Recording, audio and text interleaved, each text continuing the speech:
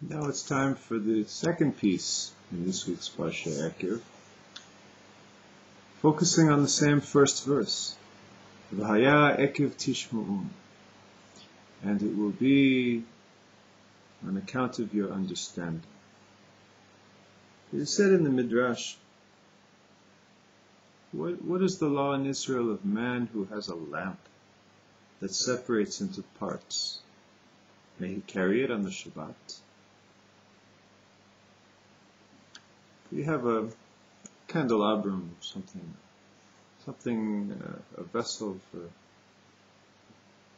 holding oil, burning oil, making light. In the old days, they used oil; they didn't use electricity. Most of you are aware of that. Um, and may, maybe the lamp was had different sections that were screwed together. Can you carry it on Shabbat?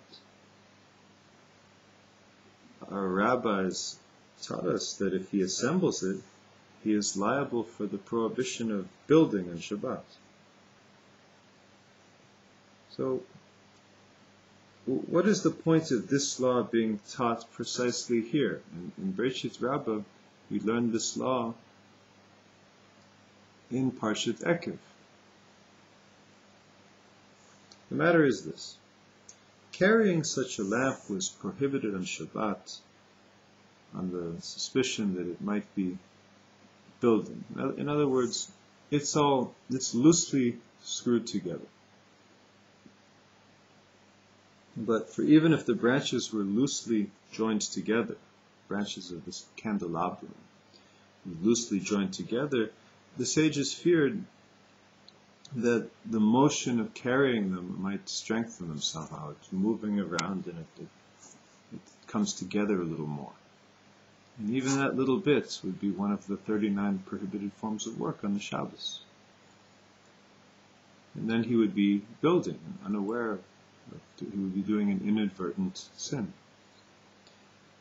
Since there is no precise measurement given to how much a person needs to build in order to be liable for building, then even the smallest amount of building is forbidden.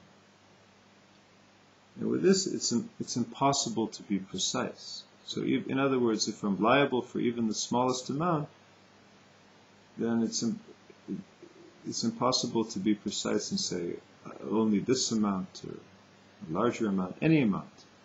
So, so the, consequently, the sages said we just don't carry such a lamp on Shabbat. Also, if, if it's impossible to be precise,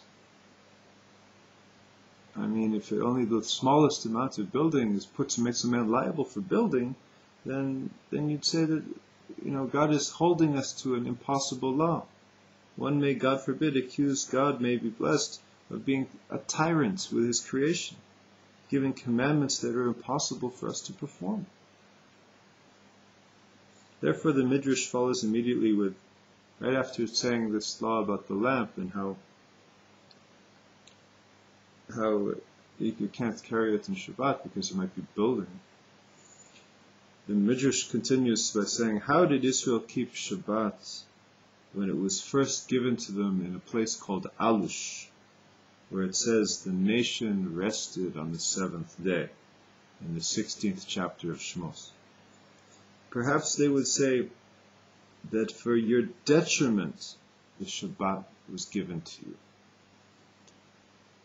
When truly it was only given to you for our good and our benefit.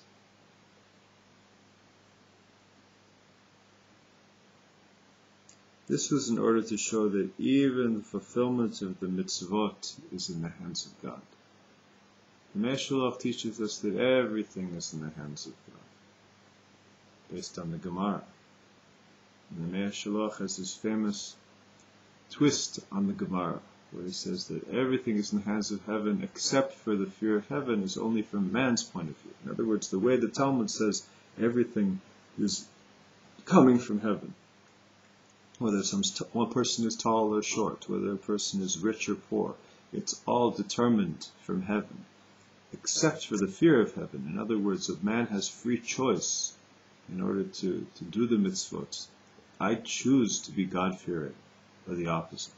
It's a choice. It's not God is not determining my um, decision to fear God and fulfill the mitzvahs.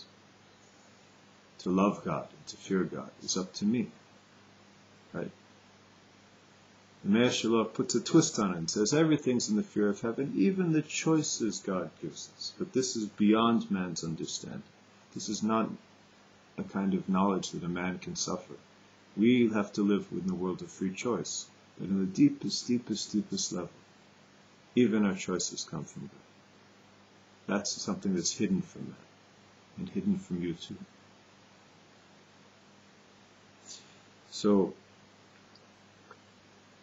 this was so all of so again to recapitulate that the we might think God is being tyrannical with us with, with us in giving us the mitzvot that seem are seemingly impossible to perform, meaning that even the smallest amount of building and then how can we carry the lamp? And because you're walking along, and it would be we'd be doing a, a sin when we we're just walking along with a lamp in the back.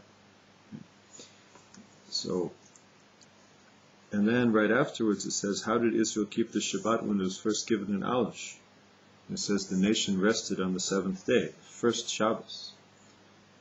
Perhaps they would say it's for your detriment that God gave you the Shabbos when it was actually given to you for your for your own good, for your great for the greatest benefit. So this was in order to show that even the fulfillment of the mitzvot is in the hands of God. For he gives man the power that he needs to God gives man the power to fulfill the mitzvahs.